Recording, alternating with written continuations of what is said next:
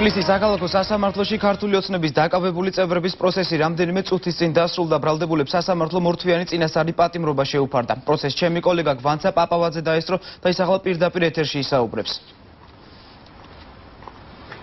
დიახ თორნიკე საქალაქო სასამართლოში ქართული ოცნების სამი წარმომადგენლის სასამართლო პროცესი რამდენიმე რამდენიმე წუთის წინ დასრულდა და მათ ორთვიანი წინასწარი პატიმრობა მიესაჯათ. მათ ბრალი ედება თოთმაქცური გარიგებების წარმოებაში კერძო ჩინაგან საქმეთა სამინისტროს ინფორმაციით.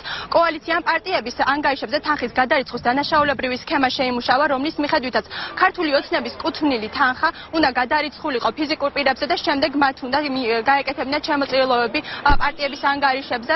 პარტიების ლიდერები აღნიშნულ ქმედება განცხადებას პოლიტიკურ დევნად აფასებენ. დღესვე ეჭმიტანილებს სოლიდარობა გამოუცხადეს ქართული ოცნების ახალგაზრდული ფრთის წარმომადგენლებმა და მათ საქალაქო სასამართლოსთან საპროტესტო აქცია გამართეს.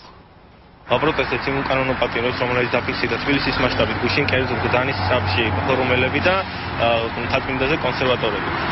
დღეს სასამართლო პროცესი აღიზრდა თვალთმახსური გარიგების გამო, რაც ჩვენ მიგვაჩნია სრულიად უაზრობად, იმიტომ რომ ყველა ადამიანს თავისუფლების სამებს შეუძლია ჩარიცხოს პარტიის ანგარიშზე ფული და ამაში ჩვენ ასე ვთქვათ უკანონოდ ვერაფერს ვერ ხედავთ. გამოვთ დღევანდელ დღეს იმ კანონო დაჭერებს, რომელიც ჩვენს ქვეყანაში ხორციელდება დღითი დღე და ჩვენ არ გვაშინია და ჩვენ ამ თემის თქვა მინდა ხელისუფლებისთვის რომ ყველას ვერ დაგუჭერენ